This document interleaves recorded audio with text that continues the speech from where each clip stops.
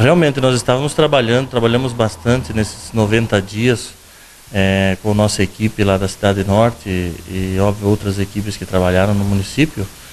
É, nós estávamos trabalhando sim e esperávamos uma, uma votação parecida com esse número.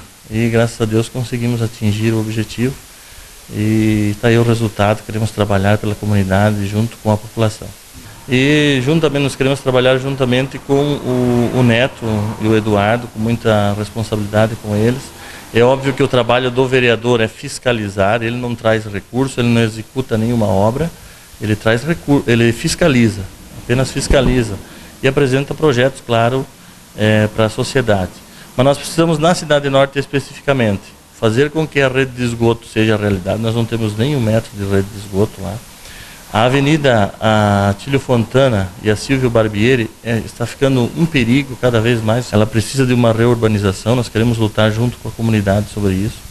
Nós precisamos de um terminal rodoviário urbano lá na Cidade Norte, pelo fluxo é, de pessoas que tem lá. Né? Nós temos muitos habitantes, muitos trabalhadores que se deslocam da Cidade Norte para o centro da cidade e demais bairros. Precisamos lutar sim. É, a feirinha da agricultura familiar, ela foi iniciada ano passado é, e foi se acabando. A prefeitura não incentivou mais, abandonou os feirantes.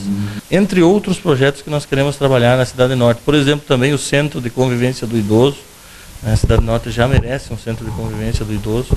É, vamos trabalhar junto com, a prefeitura para ver se é, é possível isso. E está aí o resultado.